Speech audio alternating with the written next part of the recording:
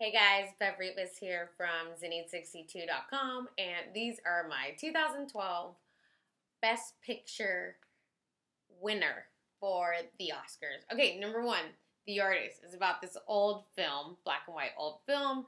These actors uh, try to deal with the transformation between silent films and talking films, and they're just having a lot of trouble because they're not the most popular kid on the block.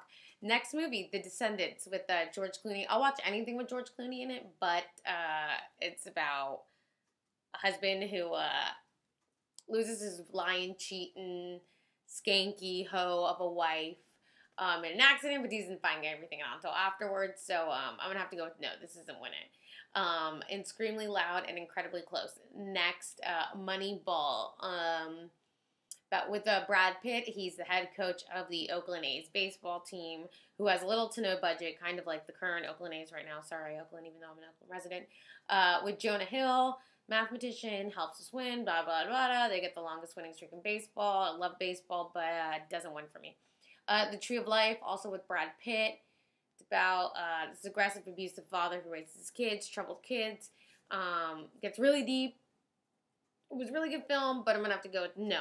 The Help. It's about this journalist who uh, chronicles the life of these African American maids during the beginning of the civil rights movement. Um, beautiful film. Have a soft spot for maids because my mom's a maid, but no, I don't think it wins. Um, War Horse, boring. no, no, no, no, no, no, no. Midnight in Paris, Owen Wilson. Um, no, he doesn't win there. Rachel McAdams, she's a great actress. She's pretty much in every romantic film. But um, I'm gonna have to go with no here. And Hugo, produced and uh, screenwritten and directed by Martin Scorsese. Great director. Um, totally transforms you, takes you to another place. This Parisian kid who lives in this train station uh, just daydreams about these employees who work at the train station and uh, just kind of takes your mind to a different place like kind of like if you were on shrooms like that's the type of movie i would want to see. So those are my predictions.